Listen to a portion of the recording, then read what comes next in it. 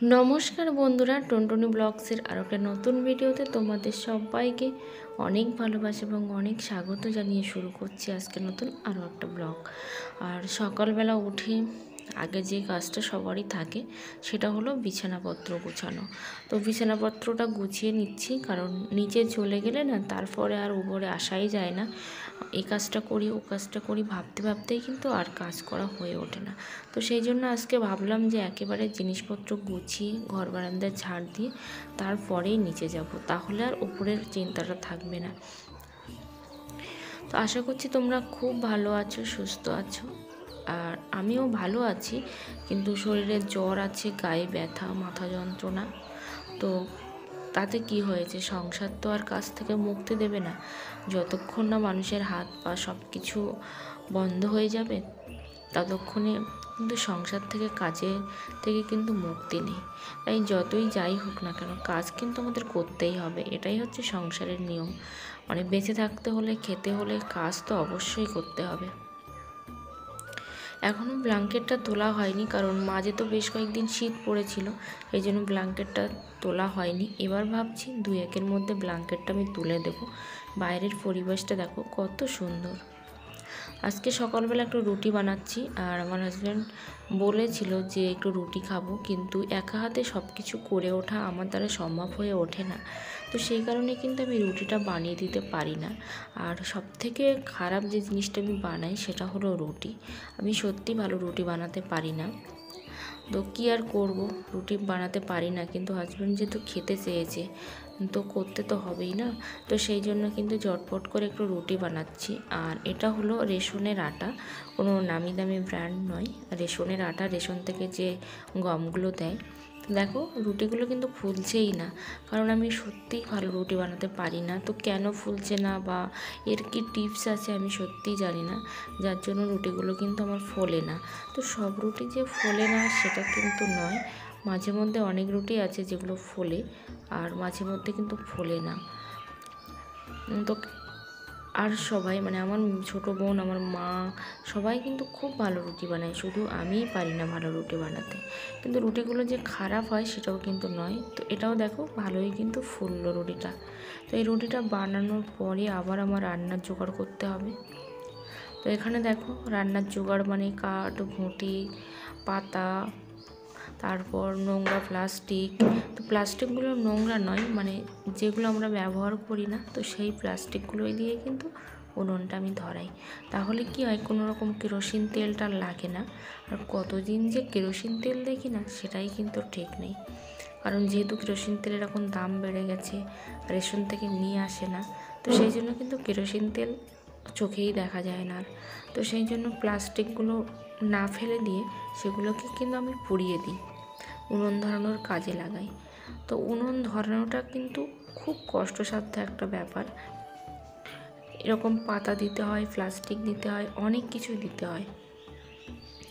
তো প্রচুর ধোঁয়া হচ্ছে, জল আর কোনো রকম জিনিস আমি দেখছি না বা জ্বলে উঠবে সেরকম লক্ষণও আমি দেখছি না। তো সেই জন্য ধোঁয়া করছি, এই হাওয়া করছি। আর হাওয়া করলে কিন্তু তাড়াতাড়ি ধরে ওঠে। তো সেই জন্য হাওয়া দিলাম বেশ কিছুক্ষণ। দেওয়ার পরে উনুনটা ধরে উঠেছে। চালটা আগে থেকেই ধুয়ে রেখেছিলাম। তো চালটা আমি বসিয়ে দিলাম।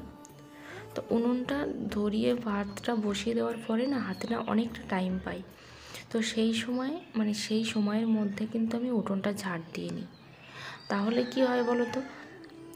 ভাতটাও হতে থাকে আর সাথে আমার এদিকের কাজটাও হয়ে যায়। কারণ দুটো কাজ তখন আমি একসঙ্গে করতে পারি। তো সেই কারণে। তো উঠোনটা ঝাড় দিয়ে নিচ্ছি। আর এটা হচ্ছে রোজগার ব্যাপার, উঠোন ঝাড় দেওয়া। আর আমাদের সামনে দেখো ইট পাতানো। কারণ ওখান থেকে না মাটি ওঠে, সেই জন্য কিন্তু ইট পাতানো ওখানে। তো এই উঠোনটা টোটালটাই ঝাড় দিতে হবে। কিন্তু সবটা তোমাদের সঙ্গে শেয়ার করা হয়ে ওঠে না। তার কারণ একটাই অনেকটা সময় লাগে এই উঠোনটা ঝাড় দিতে। তো সেই কারণে। আর ওদিকে মুরগিগুলো দেখো ছটপট করছে বাইরে বের হবে খাবে কারণ ওদেরকে একটু খাওয়া দাওয়া কম দিই তো সেই তা নিয়ে কি করব? অত ছোট মাছ? সব ছেড়ে দিয়েছি। দশ বারোটা খেয়ে খেয়েছিলাম আর সব ছেড়ে দিয়েছি। এইটুকু। ও কি হবে? ওর পিছন দিকে। ডিম হয়েছে? হ্যাঁ ডিম। দিয়েছি ওই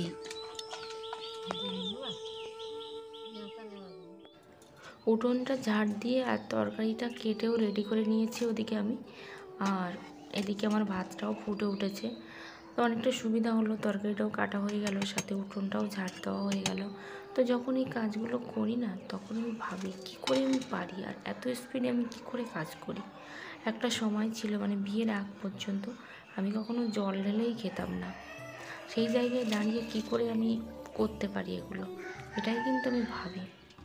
কিন্তু ওই যে মানুষ অভ্যাসের দাস, মানুষ করতে করতে অভ্যাসে পরিণত হয়ে যায়। তো সেই কারণেই কিন্তু হয়েছে হয়তো আমার। তো ভাতটা দিকে উপর করে দিয়েছি আর একদম ফার্স্ট কিন্তু উল্টে দেওয়া যায় না হাঁড়িটা। দিলে চারিদিক দিয়ে ফ্যান তো তেলটা আমি ঢেলে নিলাম আর আমি এরকম একটা বোতলে করেই কিন্তু তেল রাখি। তাহলে তেলের পরিমাণটা অনেকটা কম লাগে। তো সেই জন্য এরকম বোতলে করে আমি তেল দিই। এখানে আলু, বেগুন কেটে নিয়েছি। আলু, বেগুনটা আমি চিংড়ি দিয়ে রান্না করব। তো রসুনটা সারানোর সময় পাইনি। পেঁয়াজটা, লঙ্কাটা কেটে নিয়েছি। কারণ রসুন ছাড়াতে তো অনেক সময় লাগে। তো সেই জন্য এদিকে তেলটাও গরম হচ্ছে, সাথে ভাতটাও উপর করা, আর সাথে আমি রসুনটাও ছাড়িয়ে নিচ্ছি। আর উনুনে যারা রান্না করে তারা অবশ্যই জানে কতটা স্পিডে কাজ করলে তবেই কিন্তু উনুনে রান্না করা যায়। তো কয়েকটা কক গোটা রসুন দিলাম, কারণ এই মুহূর্তে থেঁতো করতে পারছি না। কারণ থেঁতো করে নেওয়ার মতো কোনো জিনিস আমার হাতের কাছে নেই। তোমরা ভিডিওটা কেমন লাগছে অবশ্যই কিন্তু কমেন্ট করে জানিও। আর তোমরা অনেকেই আমার ভিডিওতে কমেন্ট করো। তো আমার ভীষণই ভালো লাগে যে তোমরা কমেন্ট করো, তোমরা ভিডিও দেখো। তো এগুলো আমার খুব ভালো লাগে। তো তোমরা আরও বেশি বেশি করে কমেন্ট করো লাইক করো, তাহলে কিন্তু আমার ভিডিও বানানোর উৎসাহ আরও বেড়ে যাবে। তরকারিটা ওদিকে ঢেকে দিলাম, আর আমি কিন্তু কোনো রকম জল দিই না তরকারিতে। তো একটু জালটা কমিয়ে কিন্তু আমি তরকারি রান্না করি। তো ভাতটা আমার হয়েও গেছে। ভাতটা কিন্তু করার পরে আবার উনুনে দিতে হয়। কারণ নিচে যদি কোনো রকম জল থাকে, সেই জলটা কিন্তু আর থাকে না। তো সেই কারণে কিন্তু উনুনে দিয়েছিলাম। তো তরকারিটা আবারও আমি বসিয়ে দেবো আর এদিকে ভাত টাতগুলো রেখে আসব। কারণ এত ছোট জায়গা না, সেই জায়গার মধ্যে সব কিছু রাখা যায় না। তো সেই জন্য কিন্তু ভাতটাও রেখে আসব। ওই তরকারিটা হয়ে যাওয়ার পরে। তোমরা কিন্তু অবশ্যই চ্যানেলটা সাবস্ক্রাইব করে দিও। আর ভালো লাগলে কিন্তু লাইক করো। লাইক করতে কিন্তু একটুও পয়সা লাগে না, তো প্লিজ লাইক করে দিও। আর এদিকে আবার বেগুন ভাজা করলাম। বেগুন ভাজা করার পরে মানে ওদিকে একটা তরকারি বসিয়ে দিয়ে আসলাম, আবার গ্যাসে আমি বেগুন ভাজা করলাম। তারপর এই গ্যাসটা মানে এই যে প্লেটটা তো এটা কিন্তু আমি মুছে নিচ্ছি ব্ল্যাক স্টোনটা আমি ভালো করে মুছে নিচ্ছি। তো এটা কিন্তু কোনো রকম নেতা নয় নেতা নয় বলছি, এটা কিন্তু কোনো রকম এঁটো নয়। তো এটা একটা ভালো নেতা। তো এতে কিন্তু চিপটা কম ধরে, তো সেই জন্য কিন্তু আমি এইরকম একটা গেঞ্জি কাপড় দিয়ে গ্যাসগুলো আমি মুছি বা ব্ল্যাক স্টোনটা মুছি, তো মুছে নিচ্ছি আমি এটা। আর এর মধ্যে আমি সামান্য লবণ দিয়েছি। এটা আমি খুব ভালো করে মুছে নেব, আর এই সাইড দিয়ে না প্রচুর রোদ্দুর আছে তো বন্ধুরা বলে না মনের দুঃখে বনে আসা তো সেটাই কিন্তু হয়েছে। তো দেখো এখন বসে আছে কাঠের উপরে। তো কাঠ সব কাঠের ঝাঁপ, জানি না এর নিচে কি আছে, কারণ তো আমি দেখতে পাচ্ছি না, আমি ওপরেই বসে আছি। কারণ শরীরটা এতটাই খারাপ, আর কালকে থেকে প্রচুর মাথা যন্ত্রণা করছে, সাথে যেন জ্বর এসেছে, গায়ে প্রচণ্ড তাপ এরকম মনে হচ্ছে, কিন্তু স্নান করতে হবে। কারণ আমার একটু ডিফারেন্ট কিছু, মানুষের জ্বর আসলে ঠান্ডা লাগে, আর আমার জ্বর আসলে প্রচণ্ড গরম লাগে। মানে ফ্যান চালিয়ে বলো, আর যাই করে বলো মানে সবসময় শরীরটাকে আমার ঠান্ডা রাখতে হয়, জ্বর আসলে বিশেষ করে, তো ভীষণই শরীরটা গরম হয়ে যায় আমার। তো সেই জন্য প্রচুর গরম লেগেছে, এখন আমি স্নানটা সারবো। আর বাজে হচ্ছে এখন সাড়ে এগারোটা, তো এই কাঠকুটোর ঝাঁপের ওপরে বসে আছি। বাড়ির দিকে প্রচণ্ড গরম, তো সেই জন্য ভালো লাগছে না। আর মনটাও ভালো লাগছে না বলে এই যে এখানে এসে বসে আছি, এখন স্নানটা তো আমার রান্নাবান্না সব কিছু কমপ্লিট হয়ে গেছে। অনেকটা আগেই হয়ে গেছে মানে নটার মধ্যেই কিন্তু আমার রান্না কমপ্লিট একটা নয়, তিনটে তরকারি রান্না করেছি, ভাত করেছি সব কিছু নটার মধ্যে কমপ্লিট হয়ে গেছে, সাথে আমার খাওয়াও হয়ে গেছে। তো ঘুম থেকে ওঠার পরে বসে বেল খাচ্ছিলাম, তো শিবরাত্রির দিন বেল দিয়েছিলাম, তো সেই বেলটা খাওয়া হয়নি ফ্রিজের মধ্যে ছিল, তো সবাই মিলে খাচ্ছিলাম সেটা। তারপর এরা এসেছে আইব্রো করার জন্য। তো ওদেরকে বসতে বললাম, বলে নিজে হাত মুখটা ধুয়ে ফ্রেশ হয়ে নিলাম, নিয়ে তারপরে কিন্তু আইব্রোটা করা শুরু করে দিলাম। আর আইব্রো করতে আমার খুব বিরক্তি লাগে, কারণ ভালো লাগে না আইব্রো করতে। কিন্তু তারপরেও যেহেতু জানি, সেহেতু করি। আর আইব্রো করলে আর যাই হোক কষ্ট হলেও কিন্তু কুড়ি টাকা করে দেয় না, সেটাই আমার কাছে অনেক বড় পাওয়ার। তো কুড়ি টাকা তো একসঙ্গে আমি ইনকাম করতে পারি না, তো কুড়ি টাকা করে দেয়। আর সাথে এই যে চেয়ারে বসে করা, এইটা কিন্তু বেশি কষ্টকর। কারণ কত রকম প্রবলেম হয়, এই চেয়ারে বসে আইব্রো করতে, কিন্তু তারপরেও কিন্তু করতে হয়, কিচ্ছু করার নেই। আর এখানে দেখো জল দিচ্ছি, আর এটা হচ্ছে আগে একটা ভিডিওর ক্লিপ মানে অনেকদিন আগের একটা ভিডিও ক্লিপ সেটা তোমাদের সঙ্গে শেয়ার করা হয়নি তো সেটাই শেয়ার করছি। এই দেখো জল দিচ্ছি আর অনেক দিন জল দেওয়া হয় না গাছে তো সেই কারণেই কিন্তু গাছে জল দেওয়া হচ্ছে আর ওদিকে সূর্য মামাও ডুবুডুবু করছে। দেখো মুরগিগুলো উঠোনে চলছে আর বেশ কিছুটা কুপিয়েও দেওয়া হলো। না কুপিয়ে দিলে না জলটা থাকে না গাছের গোড়ায়। আর গাছগুলো কেমন একটা যেন হয়ে গেছে। খুব একটা ভালো নেই গাছগুলো। তো সেই জন্য কিন্তু জলটা দেওয়া হচ্ছে বেশি করে। দেখো আইব্রোটা করলাম। আইব্রো করার পরে জিনিসপত্রগুলো তুললাম। তোলার পরে এখন যাচ্ছি হচ্ছে মাঠের দিকে, আর আজকে দুপুরে প্রচুর ঘুমিয়ে পড়েছিলাম।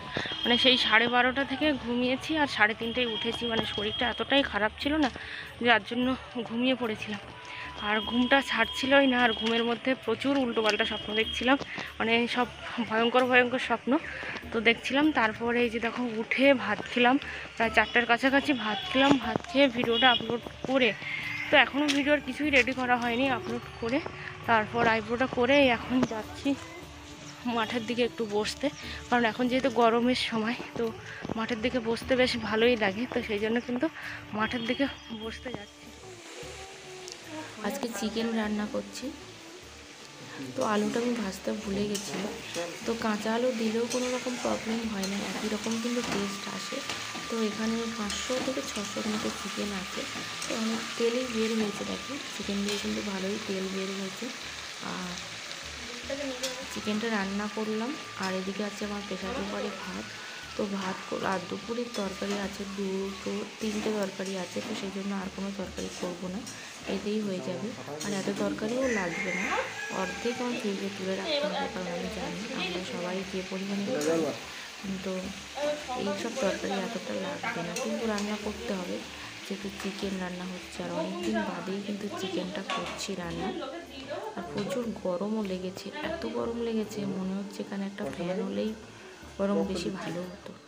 তো বন্ধুরা, রান্না কমপ্লিট হয়ে গেছে আর আজকে রান্না করেছি চিকেন তো চিকেনটা সত্যি টেস্টফুল হয়েছে, খুবই ভালো লেগেছে চিকেন তো তোমরা যদি বলো যে আমি কি করে জানলাম? তো আমি একটু খেয়েছি, তো সেই জন্যই বললাম যে চিকেনটা খুব ভালো লেগেছে। তো তারপরে এখন আসলাম ওপরে, কারণ একটু পড়াশুনো করব ভাবছি, তো সেই জন্য ওপরে আসলাম। আর এখন আটটা বাজতে চলল, তো আমার ভিডিও যাই ছটার সময়, কিন্তু আমি ভিডিওই দিতে পারিনি। তো সেই জন্য এখন ভিডিওর আমি আপলোড করব। আর দিদি এটা দিয়েছে, দেখো, এটাকে আমরা আঙুলে গজা বলি বা কাঠি গজা বলি। তো এটা হচ্ছে দিদি দিয়েছে, আর প্রচণ্ড গরম লেগেছে তার একটাই কারণ, আমার হচ্ছে জ্বর হয়েছে। তো অনেকে হয়তো ভাববে যে জ্বর হলে কি গরম লাগে, তো আমার কিন্তু জ্বর হলে গরম লাগে আর অনেকের আবার জ্বর হলে ঠান্ডা লাগে, কিন্তু আমার জ্বর হলে গরম লাগে। তো প্রচুর গরম লেগেছে, এখন ফ্যানটা অন করব। তো ভিডিওটা আর বেশি বড় করব না এখানে এন্ড করব। সবাই অনেক ভালো থেকো, সুস্থ থেকো আর তোমাদের সঙ্গে দেখা হচ্ছে পরের কোনো ভিডিওতে। ততক্ষণে সবাই অনেক অনেক অনেক ভালো থেকো। টাটা!